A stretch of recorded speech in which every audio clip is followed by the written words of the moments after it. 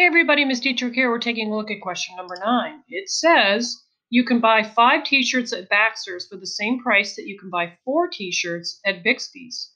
If one t-shirt costs $11.80 at Bixby's, how much does one t-shirt cost at Baxter's? So this is an important little nugget right here that they tell us in the word problem. It's the idea that four at Bixby's is the same or equal to five at Baxter's. So we probably need to find out how many if we have if one t-shirt costs this, right? Because it does say that one t-shirt costs this amount, which by the way, what I have here is equal in value to what I have here. I'm just a fan of shortening up my computation, so I usually eliminate that zero.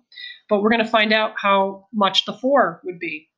So let's proceed with this algorithm right here. We're going to do 8 times 4 and get the 32.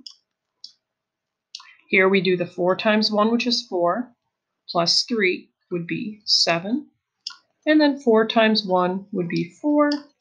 And we have to go over 1 and go over 1. All right, so here's what we know. We know the four t-shirts at Bixby's all together would be $47.20.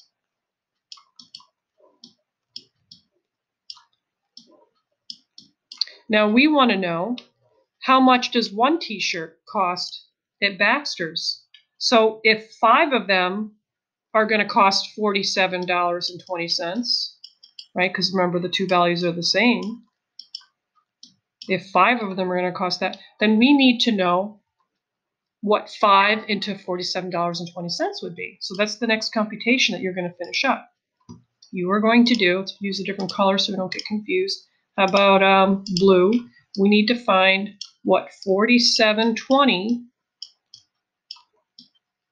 divided by 5 because remember there's 5 shirts for that price. So once you finish up this calculation, then you're going to see one of the choices.